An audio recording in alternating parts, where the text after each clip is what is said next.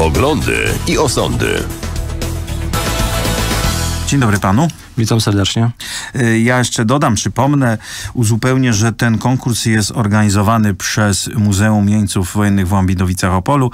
E, Jest to konkurs ogólnopolski pod y, egidą Ministerstwa Kultury i Dziedzictwa Narodowego. I podobno w tym roku, właściwie nie podobno, wiemy to na pewno, przyszła rekordowa liczba prac, tak? Zgadza się, w tym roku mamy rekordową liczbę prac. Jest były to 63 zgłoszone projekty, w tym 60 zakwalifikowanych. Łącznie wzięło udział w tym konkursie 239 osób z różnych regionów Polski. Mam tutaj 13 województw i mogę Czyli wspomnieć... po wiele osób, y, po kilka osób Tak, niektóre pracę, prace miały kilku zbiorowe. autorów, stąd, stąd mamy liczbę 239 autorów. Natomiast muszę powiedzieć... przychodziły? różnorakie strony. Muszę powiedzieć, że tutaj dominuje województwo małopolskie i mazowieckie. Małopolskie? Małopolskie i mazowieckie, natomiast mamy również pięć, plat, pięć prac, prac z Opolszczyzny.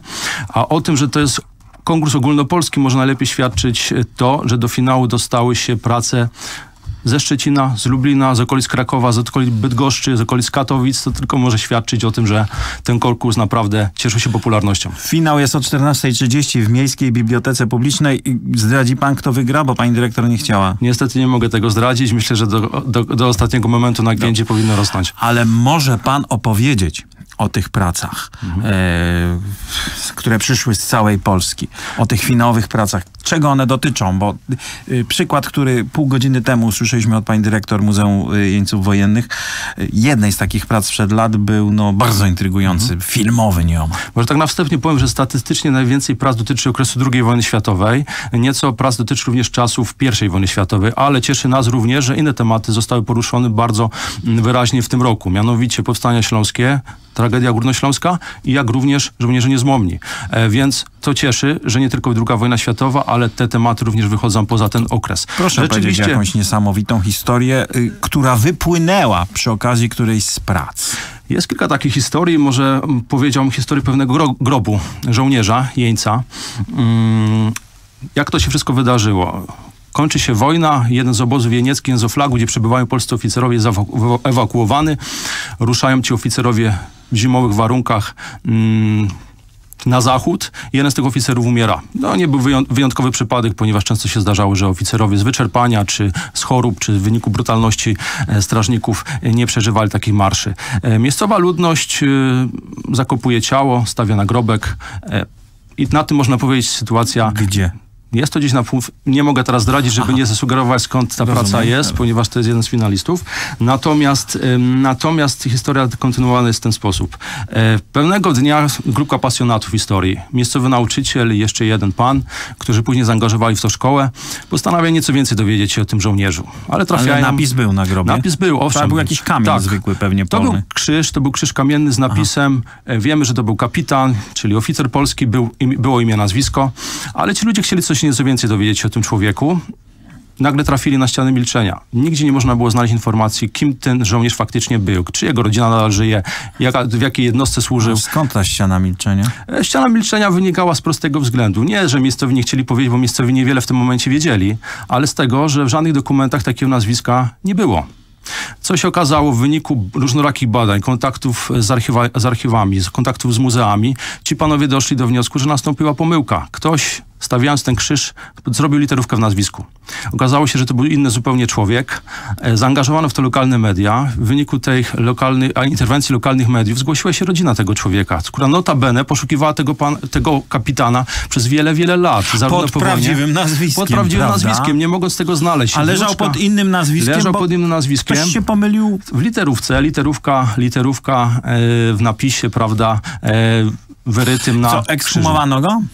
Tak, y, powiem tak, szczegóły to myślę, że dzisiaj zostaną powiedziane. Tak, rzeczywiście była uroczystość, była uroczystość, na którą, w której uczestniczyło wojsko, lokalne władze, e, ci, którzy mają poczucie, że należy upamiętniać takie To był osoby. kapitan to był Wojska kapitan Polskiego Wojska Polskiego, tak, który we wrześniu 1939 roku dostał się do niemieckiej niewoli.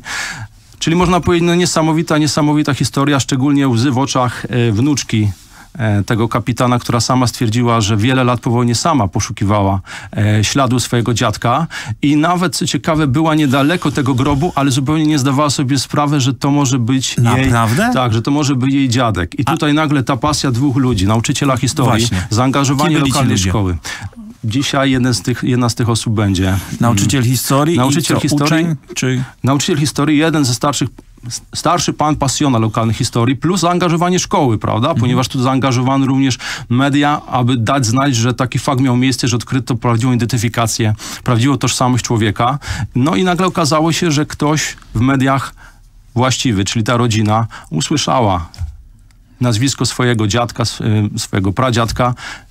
Dzięki temu cała sytuacja się rozwiązała. Czyli y, y, media pełnią jeszcze jakąś No, misyjną rolę, nie muszą tylko mówić o nowych butach Dody, czy... No miejmy nadzieję, że dalej będzie w ten sposób, że ja powiem tak, póki, póki, e, póki są osoby, które są zainteresowane promowaniem historii, dociekaniem różnych spraw, myślę, że takie osoby powinny mieć również dostęp od czasu do czasu przynajmniej do mediów. Póki nie jest za, Za późno, późno, żeby, dokładnie.